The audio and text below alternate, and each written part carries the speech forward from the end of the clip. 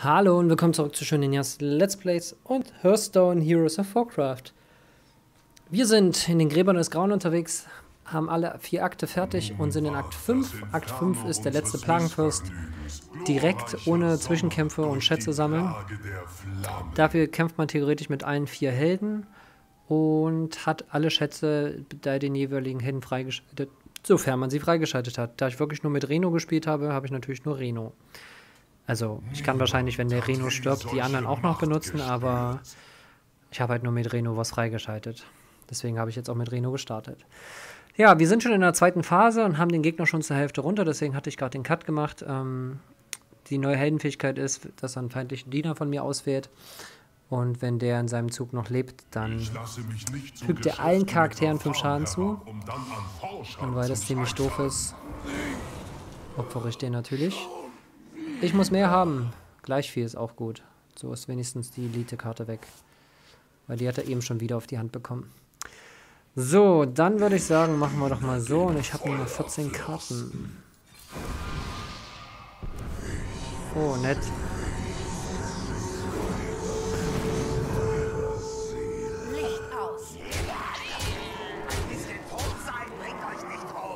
Noch vier Mana. Also befreundeter Diener stört, kehrt der auf die Hand zurück. Das ist schon mal nett und die mische ich mir gleich wieder rein.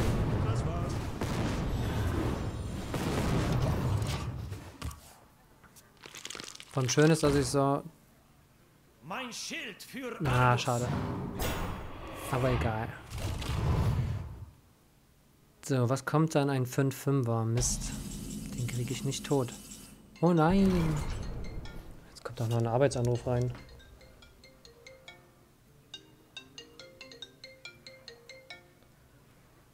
Da gehe ich jetzt nicht mehr ran. Es ist Feierabend. Ich habe meine neun Stunden gearbeitet. So, vier Schaden muss ich machen. Wenn ich den opfere, dann kriege ich nicht das 8-8-Skelett. Das wäre schade drum. Dann würde ich sagen, mache ich doch mit dem hier. So, jetzt hat er noch einen 5-5er. Der würde eh sterben für die nächste Runde, wenn das der Effekt eintritt. Und das tritt, ein, wenn er bis zum nächsten Zug überlebt. Okay, das heißt, er würde in seinem Zug sterben und dadurch würde ich auch das Skelett kriegen. Okay. Das Einzige, was ich machen könnte, ist mit dem jetzt irgendwie angreifen und ihn mit einem Feuerball oder so selber opfern. Hätte den Vorteil, dass ich meine Diener behalten würde. Okay.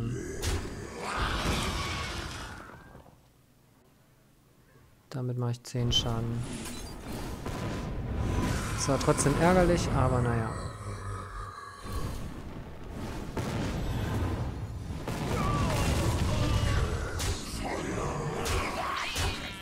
So, wir sind am nächsten Cap. Gleich kriegt er seine neue Heldenfähigkeit. Uh, er hat noch Mana. War ja klar, dass er den nimmt. Was kommt denn daraus, wenn ich den töte? Okay, aber ich könnte ihn wieder töten mit einer Karte. Die Frage ist, gucke ich mir lieber erstmal an, was er von neuen Helden kriegen würde? Ja. Er darf mal wieder vier Karten ziehen. Ist voll doof immer. Nachdem ein Diener eine Karte ausgespielt hat, erleidet er Schaden, die ihre Kosten entsprechen. Na toll, also kann ich das jetzt hier gar nicht mehr spielen. Ah, das ist ja doof. Aber jeder Spieler, also er selbst auch, und die kostet zum Glück nicht viel und macht mittlerweile richtig gut Damage. Herab, um Aber ich habe nicht das Mana, ich kann nicht den Combo-Effekt und ich brauche den Combo-Effekt, weil sonst bin ich bald Mana, äh, Kartentot. So.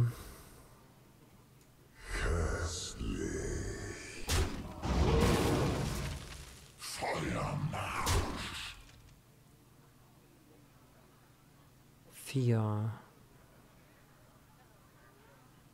Könnte mit dem den angreifen. Ne, warte, ich habe das auch noch.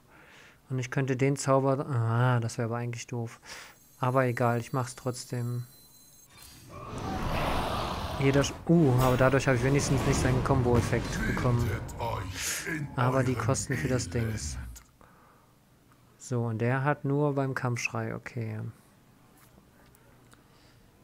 Wenn meiner stirbt, geht einer auf die Hand. Kann auf 4, 5, 6 Schaden machen. Licht aus. Oder ich mache so. Ach nee, dann kriege ich den rechts nicht tot. Nee, ich muss ihn selber töten.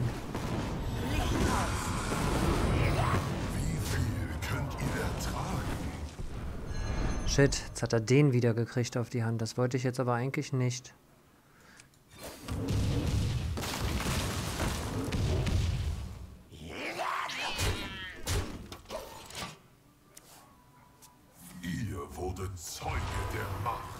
Nein, für 10 Mana. Okay, aber jetzt hat er... Vor allem, warum kriegt er die, bitteschön?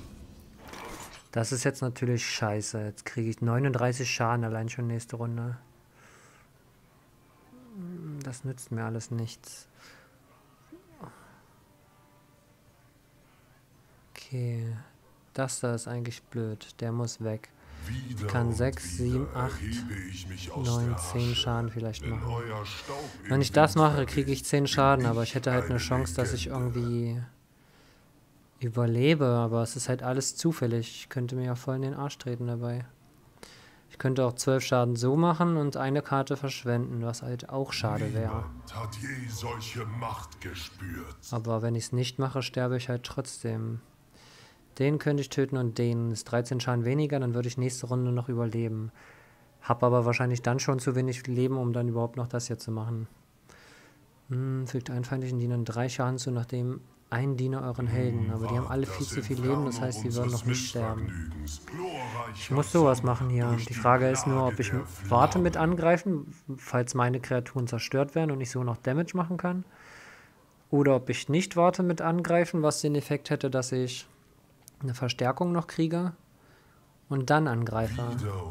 Das ist halt alles russisch Roulette. Plus 10 Schaden Schaden. 10 Schaden Schaden. Okay, also 6, 7, 8. Ich könnte den töten. Dann hätte ich keine Kreatur mehr. Ah, scheiße, ich weiß es nicht. An sich muss der da sterben. Der ist eigentlich die größte Bedrohung, weil der das ständig neue kriegt. Ich habe eh keine Karten mehr. Hm. Aber ich habe ja eigentlich noch drei Helden. So, die Frage ist, da ich noch drei Helden habe, mache ich einfach so viel Schaden wie möglich? Niemand hat je solche Macht gespürt. In der Hoffnung, dass die Helden, die ich danach habe, das noch reißen werden. Ich hoffe zumindest, also doch, ja, nee, ansonsten würde es keinen Sinn machen. Das heißt... Das Schlauste, was ich machen könnte... Ich bin der wahre Erbe der Titanen. Klappe. So, damit ist der Plan jetzt sowieso schon zerstört. Das dunkle Feuer wird alles verzehren. Schade, ich hätte gerne den links gehabt. Der ist zu wertvoll. Der kommt wieder. Der ist eigentlich zu wertvoll, um ihn zu töten. Deswegen greife ich damit an. So, 26 Schaden. Heißt, ich würde theoretisch überleben. Uh. Der kriegt jetzt immer... Uh, das ist eine krasse Kombo. Danke, danke. Rafam sagte mir, dass ihr flehen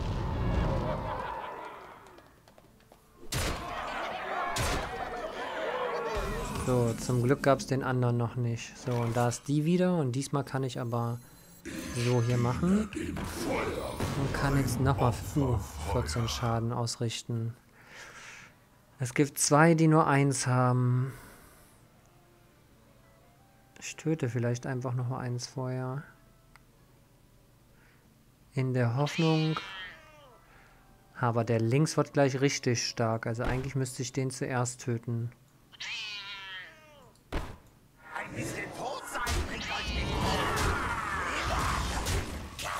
So, mit Glück könnte ich jetzt alle von ihm töten. Die Frage ist nur, opfere ich die Karte und mache damit Schaden oder töte ich den da links?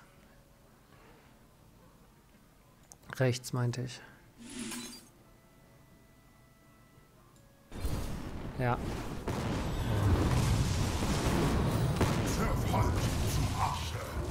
Oh, schade. Hätte nicht die noch zweimal die angreifen können? seid zäher als die meisten. Das muss ich euch lassen. Lol, warum macht man jetzt noch sowas? Spielt er noch ein Verderben. stirbt jetzt an seinen eigenen Kreaturen zum Teil. So, ich habe einen neuen. Ich weiß jetzt leider nur nicht, was die vor Dings haben, deswegen mache ich jetzt einfach von rechts weiter. Aber auf jeden Fall haben sie wieder 50 Leben. Verursacht einen Schaden, fügt dann dem feindlichen Helden einen Schaden zu. Wenn ich dem feindlichen Helden einen Schaden füge, passiert das da. Und ich habe wieder ein neues Deck. Und ziehe vier Karten. Sinas in einem und verleiht ihm Eifer. Das ist natürlich nett, damit könnte ich den da töten. Oder mache ich lieber sowas. Auf die Graffiti ist Sinas dabei. Das ist ein Kampfschrei, okay. Ich lasse mich nicht zu Geschäften Versuche einen Schaden, damit könnte ich den töten. Ich glaube, das finde ich besser.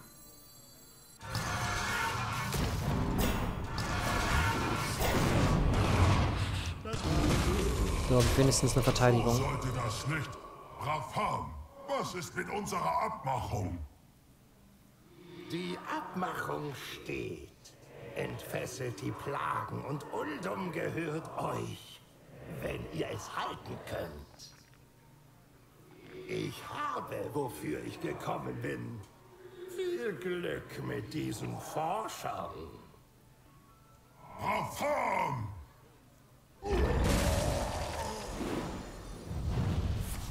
Oh nein.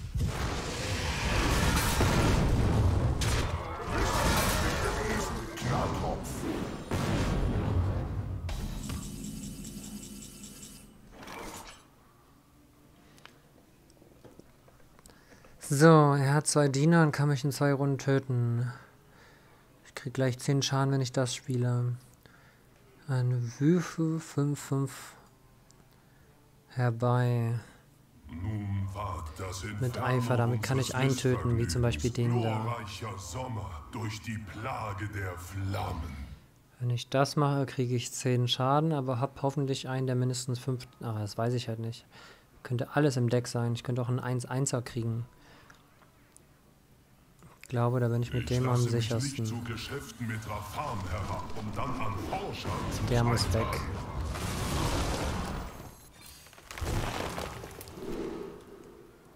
Sieben Schrecken 1-1 mit Eifer herbei.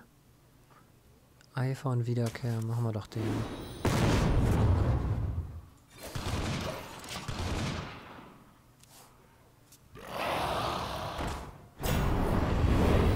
Okay. Uh, Mist. Lebensentzug ist nicht gut. Der muss weg. Ich hätte vorhin aber nicht gedacht, dass ich meine Hand behalte. Also auch diese beiden Zauber da. So, das nützt mir alles nichts, deswegen experimentiere ich jetzt mal.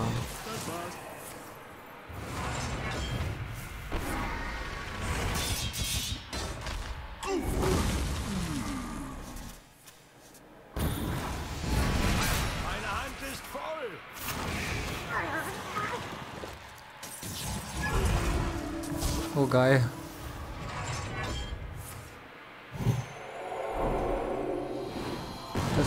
Eigentlich schön aus. No nein. Wissenschaftlich bewiesen. Knallkopf. Meine Hand ist voll. Es muss ein Wildtier sein. Eifer, Wiederkehr. Eifer.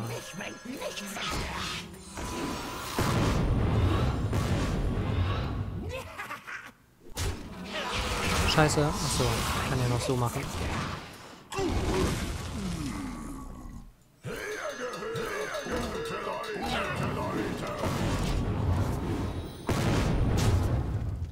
Er hat nur noch 25. Ein Diener auf eure Hand plus 3. Das ist natürlich nicht so cool, aber er tötet sich ja auch gerade selber. So, es ist leider keiner ein Wildtier, sonst hätte ich die jetzt schön verstärken können. Wenn er angreift, macht er 9 Schaden. Etwas nachdem ein Diener angegriffen hat. und Ach, nachdem er einen. Eifer Wiederkehr hat ein Wildtiergeheimnis und hinzu die Waffe der Jägerklasse auf die Hand. Ich bin der wahre Erbe der Titanen. Eine Ratte. Halt, wenn ich jetzt mehr als zwei Mana ausgebe, Hab ich euch. Dann tötet er mich ja schon.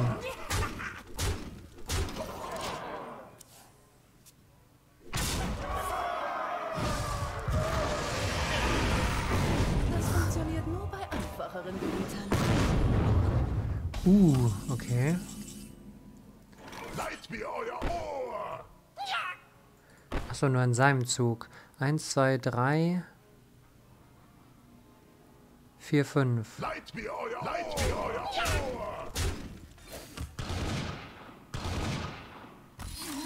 Yes! Ich habe nur anderthalb, na gut, fast zwei Helden gebraucht.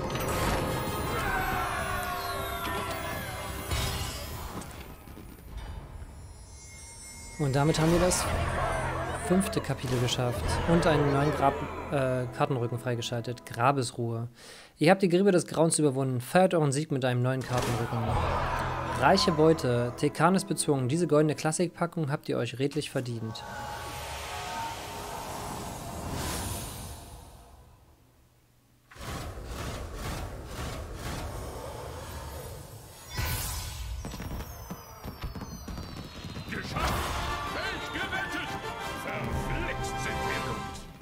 Was meinte Tekan mit der letzten Plage? Und wohin ist Rafam geflohen? Dalaran ist weg! Fürwahr, meine Freunde. Mich dünkt, diese Marter ist noch nicht vorüber. Es geht weiter irgendwann. Eine. Da! Zeug! Ich will Zeug! So, dann wollen wir uns nochmal unsere Beute anschauen. Klar können wir das dann wieder auch noch auf dem schwierigen Modus noch machen. Hat zu Beginn eures Zuges eine Chance von 50% einzuschlafen. Nach den habe ich neulich schon gesehen. Und den hatten wir gerade ein paar Mal gespielt. Das war also eine Schurkenkarte. Stellt 15 Leben wieder her. Belohnung Auge des Obelisken. Ich finde es immer schade, dass man nicht sieht, was die Quest macht. Ich müsste jetzt erst noch im Forum gucken, um zu schauen. Fügt allen Dienern 5 Schaden zu und fügt dann allen Dienern 2 Schaden zu. Aha. Und jetzt. Meine goldene Legendäre und eine goldene Epische wäre schön.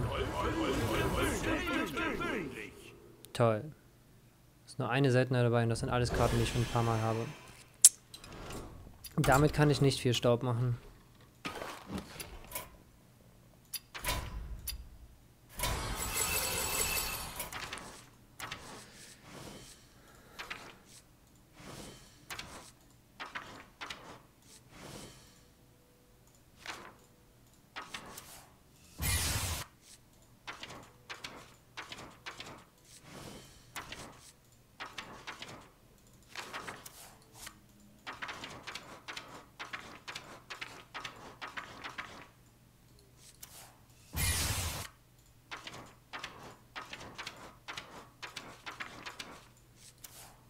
Doch, habe ich alle schon zweimal.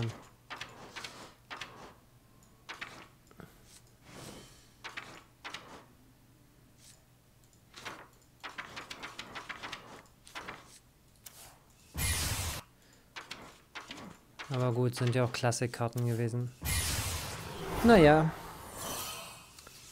Fast 7500 Staub wieder. Könnte ich mir demnächst mal wieder was holen. Oder meine Decks überarbeiten, habe ich lange nicht mehr. Aber die sind halt auch alle recht stark gewesen. Meine beiden Random Decks. Mein Uneven Pala. Mein Mechjäger. Mein Seekpit, Mage. Schon coole Decks. Na gut. Wir sind erstmal durch mit dem Solo-Abenteuer. Dann danke fürs Zuschauen und die Kommentare. Und wir sehen uns zum nächsten Solo-Abenteuer wieder. Bis dahin.